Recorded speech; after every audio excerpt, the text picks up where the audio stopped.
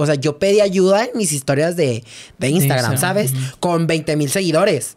O sea, no mames, ¿qué, qué ejemplo daba. Pero bueno, en ese entonces lo hacía así y él escuchándome. Y él era de Juárez, yo nunca lo había conocido. Él es menor de edad, tiene como ah, 15 años, 14 años, algo así. Y fue a la final de carrera. Porque para esto fue en un teatro, entonces podía entrar cualquier persona.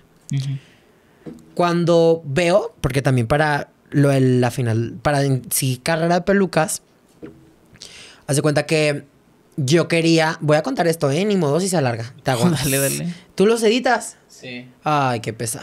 Sí, es una... modo. Pero pues es la vida que uno elige, Ni mira. modo. vas Ya a empecé a monetizar, ya esperemos algún día tenga presupuesto para contratar un editor y hacer esto más ligero. Oye, qué padre, felicidades por tu monetización. Gracias. Se siente bien bonito, la verdad, cuando te llega tu correíto ahí de que monetizas. La Sí, verdad. Sí, la verdad es que sí, sí siente como, ok, ya estamos aquí, ya vamos, vamos Está por ahí. rindiendo frutos lo que ya estás va, trabajando. Ya va para allá. Sí, totalmente. Sí, sí, sí. Este, entro a carrera de pelucas, yo mando, veo que están las audiciones y yo mando mensaje y digo de que quiero participar. Métame como secreta. Yo muy segura, yo dije, pues yo ya estoy de la talla de la más larga, me van a meter a huevo. Y me dicen de que los productores, ¿te podemos marcar? Y yo, ok. Me marcan y que, oye, pues sabes que no nos interesa tu participación como participante. Y yo sé de que puta madre. O sea, me rechazas y yo soy de la más larga. Ujú. O sea, ¿cómo te atreves? Me dice, porque tú ya tienes las tablas para ser una jueza, entonces te queremos de jueza. Y yo de, ¡Ah! no mames, o sea, y yo está bien, ya las perdono. Eh, lo voy a pensar. no, obviamente les dije luego lo que sí, por el hecho de que yo lo que quería era estar creando. Porque la verdad, el no haber quedado para mí, puta, ¿Eras la más joven de esa selección en la Más Draga 6? de las más jóvenes. O sea, en estas audiciones quedaron jóvenes. tres de, de la misma edad. O sea, pero antes no se había visto tan chica, ¿sabes? Entonces, este, veo, eh, bueno, hablo con ellos sobre eso. Ah, para esto, cuando me avisan que no quedé, fue un día que vino una de la más draga aquí. Entonces, a mí me avisan en la mañana y me toca ir al evento. Entonces, todo el mundo era de que, ay, ya queremos verte en la temporada. Y yo, Tú no, sabías que... O sea, y yo si supiera que no quedé. y todo el mundo así, te lo juro. ¿Y qué decías? O sea, como... Y yo, ay, y lo, ya dinos si quedaste. Y yo, ay, todas somos secretas. ja. O sea, pues, no, no quería decir que sí, tampoco que no. Ajá. Porque pues tampoco iba a ser mentira. O sea, ay, sí quedé. Total. Ese reconocimiento, ahí fue cuando Chihuahua, sentí el abrazo de Chihuahua. Después de las audiciones. Cu- te digo, ese, ese día vino Fifi, una de las Qué ganadoras. fiesta. Ajá, la de la temporada pasada. Este vino aquí a Chihuahua y te digo, toda la gente así pidiéndome fotos. Y el 60% de que vengo por ti, no a Fifi. Y yo de, Wow. güey, ella es la reina, Sí. ¿sabes? Y dijo, no, es que yo vi que vi- venías a tus historias y yo vengo a verte. Vengo a pedirte una foto y me voy. Y yo de, no mames. O sea, ¿en qué momento Chihuahua me, me- me abraza? Porque para esto la- lo de las audiciones fue culerísimo conmigo. Chihuahua me dio una patada en el culo bien rico. Tanto de que yo llegué y de que, oigan, no, pues, este, como saben que de las audiciones estoy vendiendo boletos y que no sé qué, por si gustan, es para una rifa y que no sé qué. Voy a estar allá en la mesa para, por si gusta comprarme. Nadie me compró. Me fui llorando del lugar porque dije, no puede ser posible que en Chihuahua no me traguen así todas las dragas de que, que la envidia está culera aquí en Chihuahua. Está culerísima y más porque, de hecho, un comentario de uno de los lugares de Lulus. Se me acerca y lo me dice, oye, ¿y tú por qué quedaste? Y lo le digo, ¿cómo? Sí, porque tú quedaste y no fulanita de tal. Si ella tiene más talento que tú, o sea, tú, ¿por qué quedaste? O sea, ¿qué tienes que ver ahí o qué? Y yo de, ¡a la verga! Tuvo los huevos de decirme en mi cara. Entonces, fue como muy culero todo el proceso de las audiciones. ¿Y qué le dijiste? Le digo, pues ya ve. No, pero es, o sea, es que ella baila, ella canta, ella hace no sé qué y se ve bien bonita. ¿Y tú, tú qué haces o qué? Y yo de. "Ah". Le digo, pues no sé, pues algo muy bueno de ser, ¿no? Para haber quedado. "Mm, pues a ver cómo le va, pero pues es que yo no entiendo por qué te eligieron a ti, no a ella. Y yo de, güey. O sea, te digo, yo todo ese proceso de Chihuahua me dio una patada bien culera. Pasa esto lo de, lo de Fifi y que siento el abrigo. Dije, uy, cuando les diga que no quedé, me van a volver a mandar a la verga. y va a ser bien culero, ¿sabes? Pero bueno, me amarré los huevos y...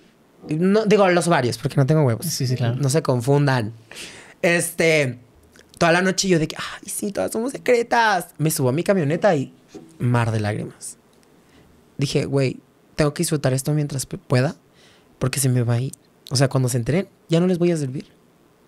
Y dije, qué culero que sea la gente así. Total.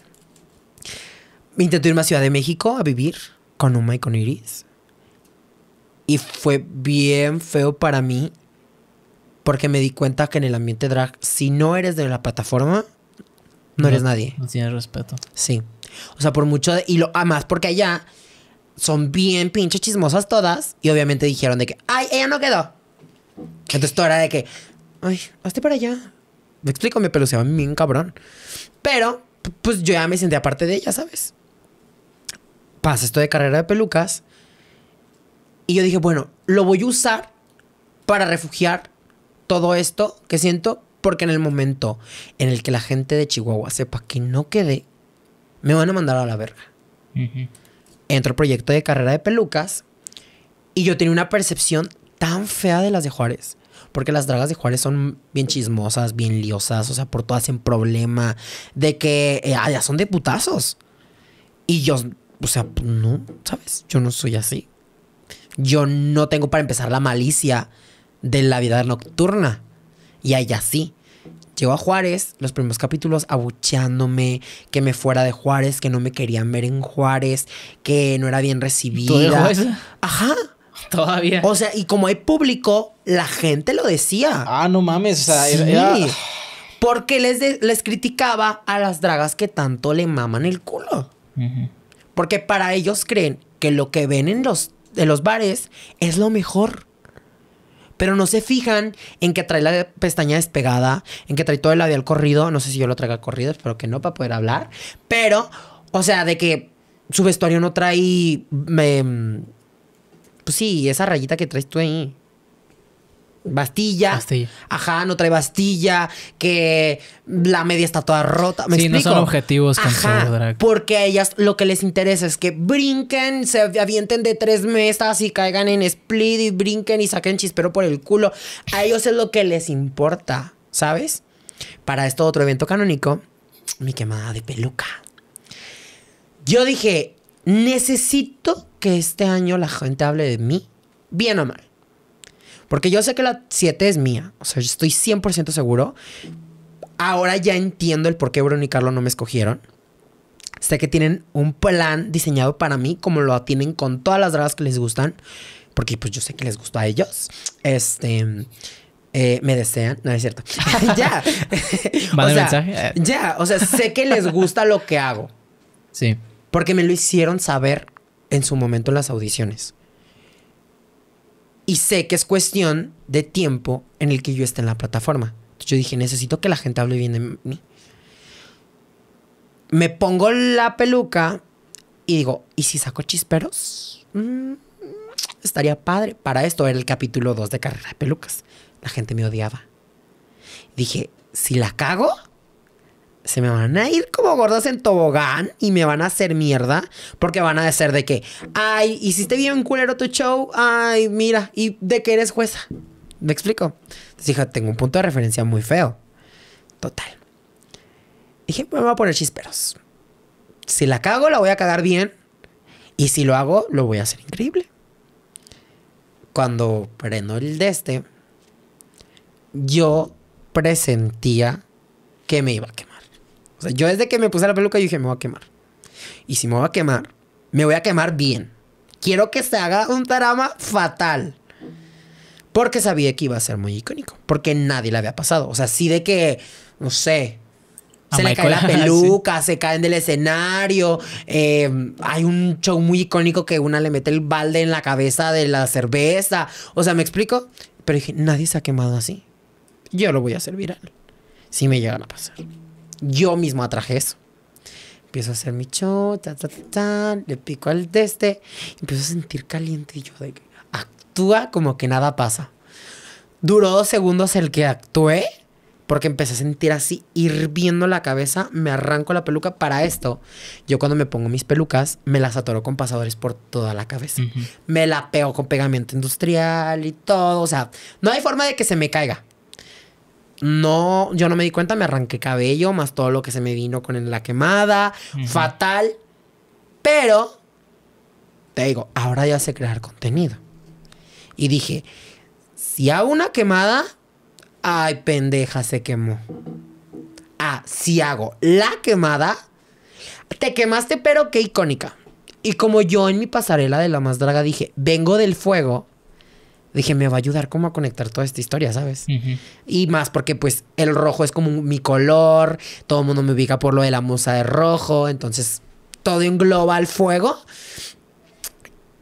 Y pues hay una escena muy icónica en de Cruella de Vil, que es que se prende el vestido. Sí, el que comenta del pa- papel de pólvora y así. Justo. Pues como no lo pude hacer en la audición, dije, ay, pues vamos a sacarlo de aquí. Te digo, yo ya presentía que me iba a quemar. Yo dije, sea lo que sea, la voy a cagar. O sea, ¿a quién se le ocurre poner chisperos en una peluca flamable? Así yo baño mis pelucas en spray, era obvio que iba a pasar, ¿sabes? Sí. Pero yo dije, va a ser la quemada. Pues ya, me quemo, me subo, yo no sabía a qué tan grado iba a ser. Que me veo y así, el cabello, los mechones de cabello, así cayéndose a pedazos. Pedazos, pedazos, pedazos. Yo soy una persona muy vanidosa. Yo nunca me he rapado porque yo sé que me voy a ver culerísimo, ¿sabes? Sí. Y casi que veo que el cabello y lo humo y yo de, no mames, ¿qué hice? Horrible. Me bajo, me disculpo con el público y me voy a urgencias. Llego a urgencias, yo así maquillado, sin peluca, pelona. ¡Qué horror! Hoy de los peores momentos de mi vida, mi momento más humilde verdaderamente. Estos momentos que te sí, te lo humilde. juro. O sea, yo, yo me acuerdo, me tomé una foto y así, todo culero. Hombre, no. Para esto, yo traía mis medias, mis fajas, Sí, sí, sí. todo. Y que me dicen de que te vamos a inyectar. Y yo, ay, señor, ¿no me puede humillar más? Pues ahí me tienes quitándome todas las fajas y todo para que me puedan inyectar.